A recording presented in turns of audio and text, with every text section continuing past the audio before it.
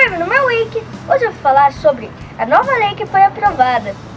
Essa lei permite que seu animal de estimação vá visitar alguma pessoa querida por você que está internada. Ou até mesmo, se o dono daquele animal estiver internado, você pode levar ele para visitar o dono do animal. Mas, Wake, é só levar o animal no horário de visita e pronto? Boa pergunta, Wendy. Não é somente levar o animal. Você tem que levar seu animal, primeiramente, ao veterinário. Daí o veterinário vai ver se as vacinas do seu animal estão em dias.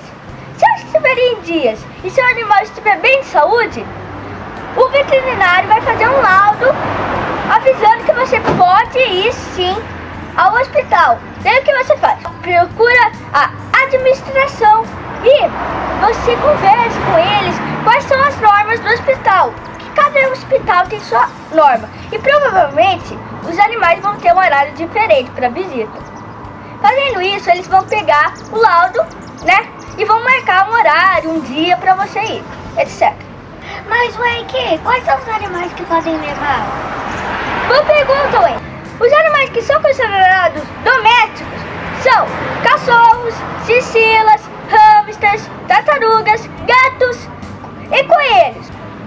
o passarinho. Então, pessoal, esses são os animais que são considerados domésticos.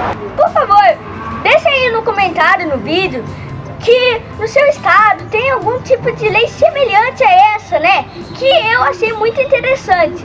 Ela pretende, né, atingir principalmente as crianças e os idosos, que foram eles que pediam bastante lá para aprovarem essa lei. Pois bem, pessoal, espero que tenham gostado do vídeo. Se inscreva no canal, deixa o like e até o próximo vídeo.